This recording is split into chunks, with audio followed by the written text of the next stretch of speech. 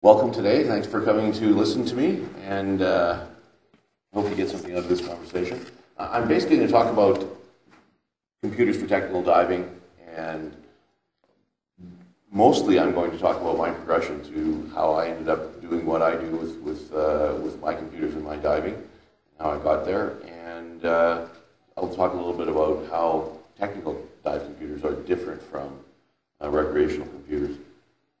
For those of you um, who've heard me speak before, this presentation is a bit unusual, as I normally present evidence from other fields and, and try to apply it to rebreather diving and find ways to uh, find lessons from other technology. Um, in this presentation, this is really going to be all opinion. There's no, no, no facts to back up anything I say here. Um, and it's just what I think and what I've, what I've gone through. So the first thing that I'm going to talk about a little bit is what, what do decompression computers really do? There are dissolved gases in our blood all the time. As we're standing here, we have about uh, partial pressure of nitrogen in our, in our tissues of about 0.79. And as we change the ambient pressure by going underwater, the amount of dissolved uh, gases in our, in our bloodstream, in our bodies, changes. So if we are um, above the ambient pressure line, we're off gassing. For example, if we if we were um, at altitude, for example, uh, we'll off gas. If, we, if the ambient pressure is greater than the pressure of the tissues in our body, we will then on gas. And one of the goals of decompression is to not off gas explosively. So the idea is that we're trying to, and you probably saw this, a lot of people saw something like this in their, in their open water class.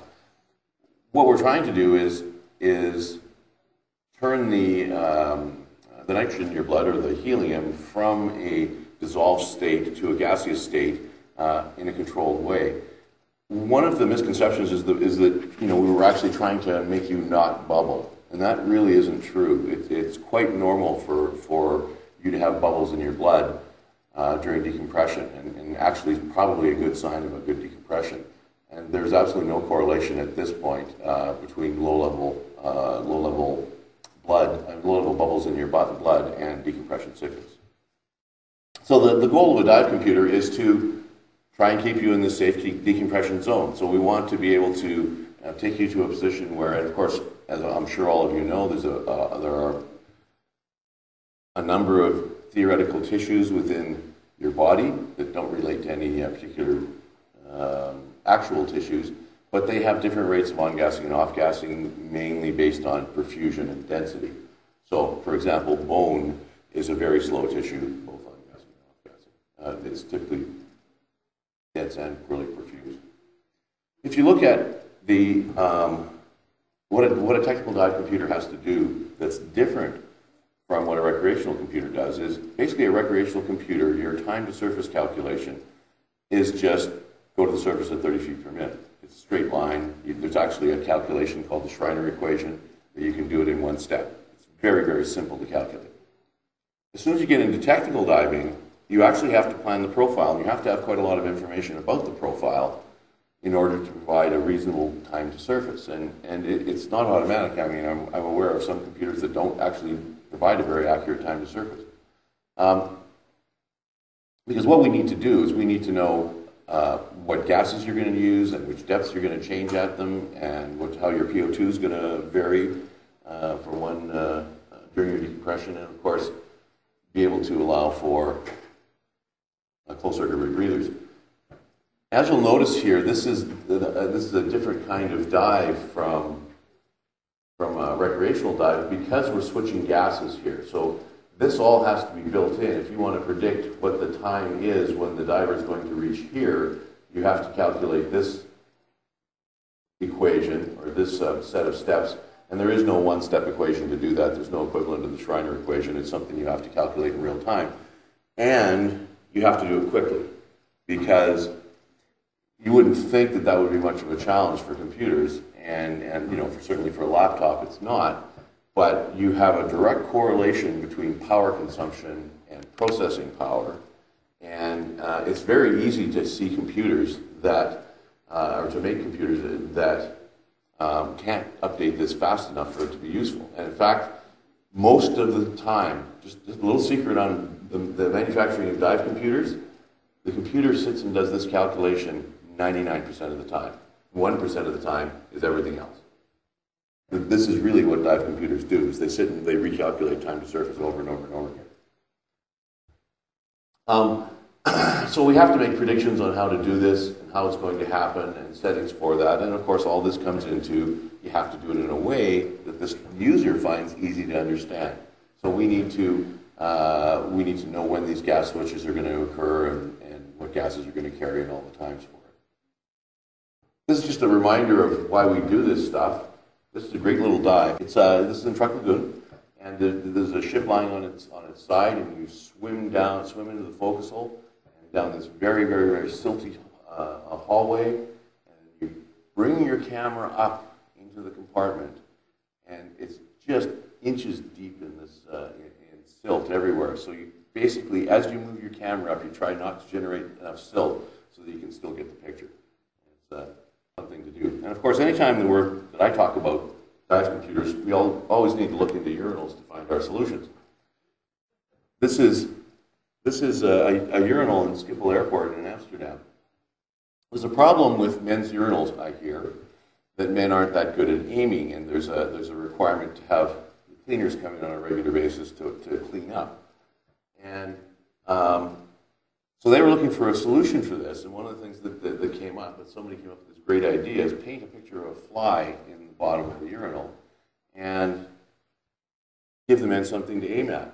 And they actually studied this and said there was 80% less spillage by giving the men the fly to aim at. And, and the reason I love this is it's a simple solution. I mean, we can all think of all sorts of different complicated solutions to this problem, more cleaners. You know, it's a simple solution that solves the problem. And, and I love looking for solutions like that with, with uh, our programs.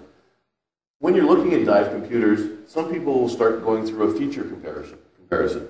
This is a real picture of Microsoft Word with all the toolbars turned on. So I think this makes a pretty good argument that more features isn't necessarily better and doesn't make things easier to operate. We would prefer to do something like this. We would prefer to give you less for your money because we think this is the sort of system that you really want. You really don't want 45 buttons. They're produced that way because it's cheaper for the manufacturer to make one system and have it work for everybody than it is to make a system for every individual need. Again, we believe that if you're going to do technical diving and rebreather diving, you want to have a rebreather computer or a technical diving computer that is designed for the purpose and has exactly those functions that you need and not a lot of functions that you don't need so that it's easy to operate and particularly I, I sometimes think that, that many things are designed, many computers are designed for people for the programmer. So the programmer's sitting at a desk and he's got good light and he's warm and he's relaxed. You know, uh, uh, he's, he's used to working with computers all the time. And he says, there's, there's an old computer, I can't even remember who used to make it, but it was like you had to do three short push, pushes and then two long and then hold it. And it was like only a programmer could think that that's a, a usable feature. But there really was, I, can't, I wish I remember what that one was. But it didn't last very long. But that's not what we're dealing with. When you're on a rebreather and you're at 100 meters and you have decompression and you have, um, uh, you may be cold, you may have some narcosis, you may have some stress. That's not the right time to be trying to figure out how your computer works. So the computer should be paying a lot of attention to exactly what state you're in right now and doing things that are appropriate for what you're doing right this minute. One of the things that, that, that, that we use and this is called a training transfer. Um, and I have to give, this, give credit to this to uh, Tracy Robinette, who was actually one of the organizers of Rebreather 2. Um, and that is radio station gases. We were having a discussion once about how to, how to interpret gases. So you have five open circuit gases, five closed circuit gases. You can switch between them. You can add them, delete them, and edit them. And it's a, it's a the, the, a car radio is a perfect metaphor for it. what I can do, because you understand how car radios work, I can in a couple of minutes explain to you how our gases work. And without even telling you specific things, you already know how, you how they're gonna, how they work on our system because you know how car radio works. So I don't even have to explain all their functions. you already know most of the data. Um, of course, you never want to have a technical dive computer that does lockout. There, there are a bunch of reasons for that. Uh, um, the, pretty much every um, uh, recreational computer will lock you out if you even miss a stop, even by a minute. But that's not what we want with technical diving because what's going to happen? I mean, anybody who's been on a technical diving uh, expedition on a, on a boat or on shore, and you're in Grand Cayman doing these walls, I guarantee you the guy's going to dive the next day, even if he missed five minutes decompression because of marine traffic or you know some other sort of situation. And they're going to mitigate it somehow. They're going to breathe oxygen for half an hour after their dive, or they're going to you know, do an afternoon very shallow dive, 20 foot dive, uh, you know, on a high oxygen content. But they're going diving the next day, and it's just, I think it's the responsibility of a technical diving computer to give you its best estimate for what the next dive looks like. Reliability is, a, is, a, is another feature, and in some industries, reliability is actually safety. If you look at some of the standards, the way they're written, they really are all about uh, uh, reliability. And in, in simple places, reliability is safety. So if you have a steam boiler, for example, and it has an overpressure valve, as long as that overpressure valve is reliable, that is a complete solution. You, know, you don't have to go any further than that. Reliability is safety. With, with other more complex devices, that's not quite so true. But reliability, you know, if we look at a lighthouse, I mean, what, what, what makes a, light, a lighthouse add safety And What, the way it adds safety is in marking shoals or rocks. But the reason it's valuable is because it works, because it's there, because time after time when you're coming back to port, the light is there. If it was only there 50% of the time, it would be a lot less safe. And actually, people would find other ways to work. Decompression algorithms. Actually, this is good. There, was actually a presentation this morning that, backed up what I was going to say in here, so that's good. Um, this was a, a, slide put up by Richard Pyle uh, Deep Stops conference in 2001. And I, I love the statement here, this one here. How much of this variation is just noise? I mean, how much do we really know about this? Should we, you know, I see I see. I was a decompression diver that used to use stopwatches at my stops.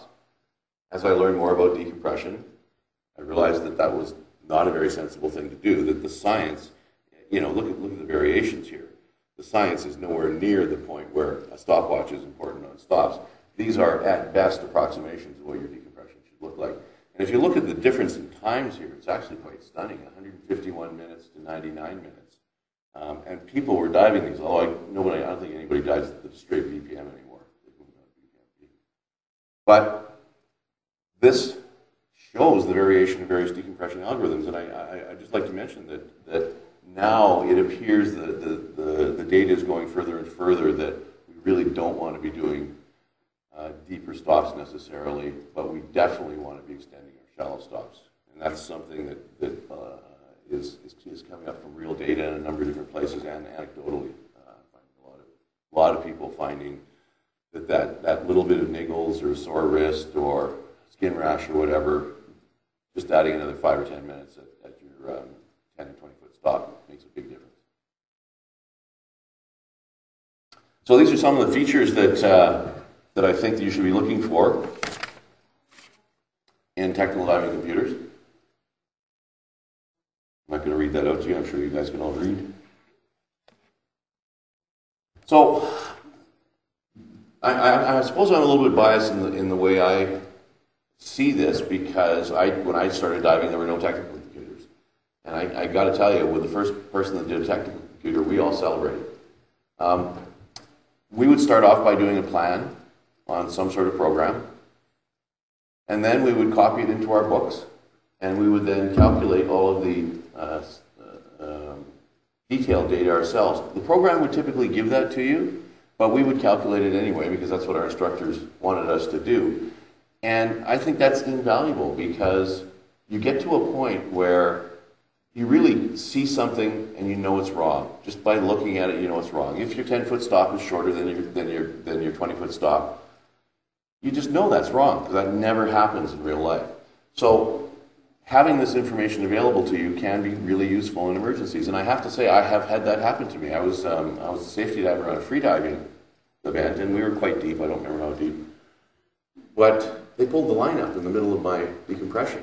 I'm holding onto it, and it's like this line shoots up, and I, I start to lose depth. depth. Of course, my computer at this moment decides to have the depth sensor fail. And it's like, oh, wonderful. I'm in midwater and I have no depth sensor. My other depth sensor is in my pocket. I've got a spare, a spare bottom timer in my pocket. But, you know, it's very hard to reach it while I'm trying to figure out whether I'm going up or down and get stabilized. So I got stabilized, and then all I had was a bottom timer with me. I had no decompression. But if you've done this enough times, that's not a big problem. You, you can figure out pretty close what your decompression is. I mean, you've done the dive enough times that, that um, you have a pretty good idea. Of course, you end up doing a lot more decompression to be safe. But. So in the early days when we were just doing nitrox decompression, it was really easy to just carry a table like this. It gives you all the alternatives you need. Basically, that's everything, every possible dive you could go on. And then the dives got more complicated. And we started to, I can't believe this is the best picture I could find on the internet of uh, a slate with a bottom timer. I, I would think that, I would have thought there'd be thousands of them. All right. Um, so as the dives got more complicated, we had helium in them now. Now you can only plan a few dives, so you'd have three or four or six, you know, outcomes. And then I got one of these, and this really confounded everything because this is a funny rebreather in that it has two diluents. So it has air and heliox or, or pure helium. So the way you would dive it was you would you would dive uh, an air diluent down to whatever depth you wanted to have your, as your maximum narcotic depth. You would then pull a lever and it would switch the computer and the physical tank to a heliox or a helium mix. And as you continue to descend, your partial pressure of nitrogen would stay the same. And uh, there at that time, uh, the CCR, uh, the um, um, Cislunar also did the same thing. Those were the only two devices that actually did partial partial pressure nitrogen, constant PN2 as well as constant PO2. The problem this creates is that none of the dive tables can even calculate that. I mean, you, you, you can't buy any program to calculate your decompression. Um, you, uh, your decompression is done with the, the onboard device because it's the only one that knows how to do it. So everything else becomes, becomes estimates. The other thing that rebreathers do is that they kind of blow the whole idea of dive planning.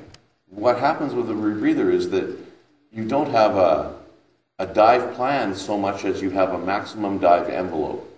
That if you stay within these depths and times, you know that you've got decompression, you've got sufficient gas for bailout, and all those sorts of issues. So it's really a, a whole set of dives that, that are all planned exactly the same on a rebreather based on how much bailout you're carrying and how much decompression you're willing to do. As I said, when this first came out, I got one of the very first ones, and this was a wonderful thing for tech diving. This is the beginning of tech diving computers. And as we moved on to expedition type diving, where you're doing a series of dives, oh, you were on that boat actually. um, while, uh, while we're doing a series of dives each day, it becomes virtually impossible to do tables in a situation like this. Because realistically, what you have to do each day then is you have to plan your dive for the day. Then after the dive, you have to go back and enter the dive you actually dived. And with rebreathers, that could be a very bizarre dive. It could be uh, go to the bottom and spend hours coming up on a reef. And you know, you really don't even have a good idea of what the depths were. It's not like you're doing a square dive. And you would have to do that for each dive and keep this running table, and frankly, it just becomes impossible. So I think once you get into the idea of doing multi-day decompression diving, you pretty much are stuck with using computers. So I put a thread up on uh, DecoStop a while ago, why not use a computer? And got some interesting ideas. Because some people, believe it or not, there are people that, that do uh, closed circuit decompression diving and don't use computers. I mean, I, I, think it makes a lot of work for yourself myself, but there are people that do it. Um, I think the biggest one here is understanding. And if at all possible, that's one of the things if you're going to start diving, and, and I think it's going to start happening more and more, is people aren't really going to do much open circuit training. They're going to move right into a rebreather.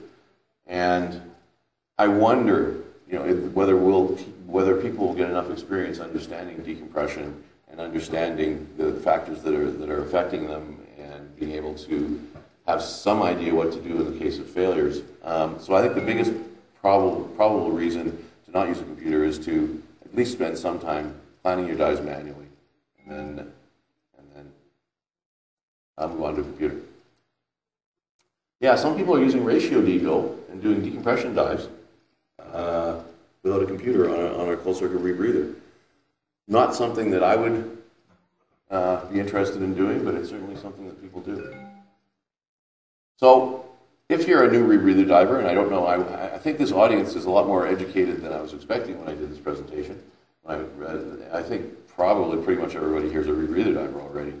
So, but by all means, my best recommendation would be to take the time to know how the planning tools are developing your, uh, your, your various numbers, how they're calculating them, so that you have some idea what's going on when things don't go right. And so, what have I evolved to now? Uh, basically, I wear uh, one computer uh, that's connected to my rebreather. I have a heads-up display for my backup PO2. I have a second computer, which is not plugged into my rebreather, that I use for uh, decompression as well. And I use a buddy. We, uh, I have a dive buddy, and we dive together all the time, and we stay together all the time. And so between us, we have four computers. And often we have them set differently so that we, we're doing spans or ranges, or ranges so that I can actually, we, we have a selection of, of profiles available. And, uh, and uh, I think that we're pretty well covered with that, and we don't carry anything printed. That's just me. Any questions? Sometimes, actually, when I see when I see the monkey here, you know, there's a story about monkeys that uh, uh, there, were- there were five monkeys put in a cage, they were uh, kept there, and they put food in on a string above a, a bench like this. But every time the monkeys went to try and get the banana, they would spray them with cold water, and after a while, they had the, the monkeys all trained not to uh, not to go for the banana. Then they changed one monkey with a new monkey, and they brought him in, and of course he went for the banana, and all the other monkeys stopped him because they didn't want to get sprayed with the water. And this kept going. They changed in one, and they changed another one, and pretty soon they changed all five of the monkeys. So none of the monkeys had actually ever been sprayed with water, but they were all trained to not go for the banana, and that's why some people still die dive open circuit.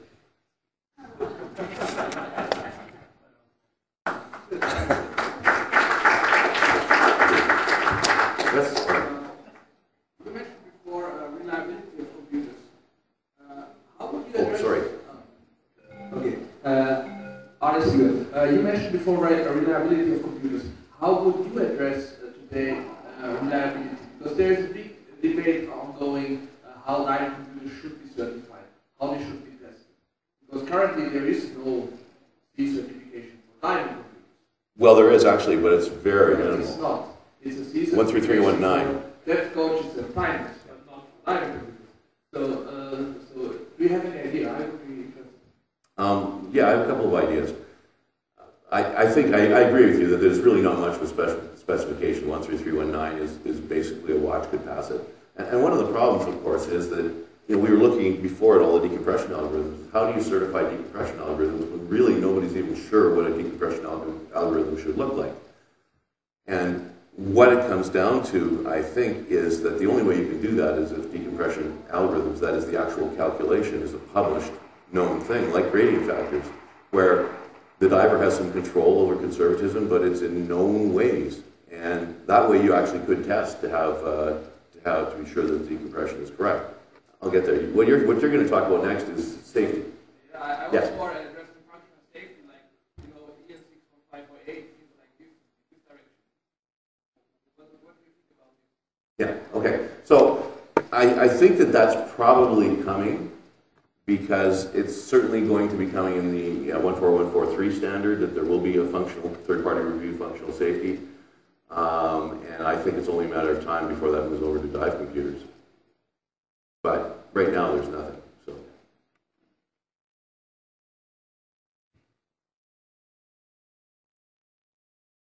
Okay, thank you.